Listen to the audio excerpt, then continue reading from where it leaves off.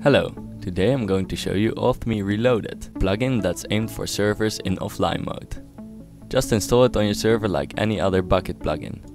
It has a fairly in-depth config file, but you won't have to look at the, most of this if you're not using a database or email activation system. With AuthMe, users can still have an account on your server even though it's running in offline mode. When I connect, I'm unable to do anything. Because I have to register on the server first. To register, just type register, password, and then confirm your password. I'm just using the word password as my password.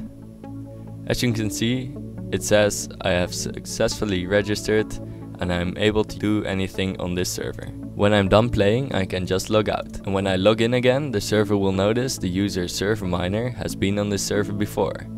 I'll have to log in using my password again. After that I can start playing again. This is very useful if you want to run a server in offline mode but you don't want players to be able to act as if they are other players. AuthMe also supports a bunch of advanced settings. We highly recommend you check out their Bukkit page. Link will be in the description.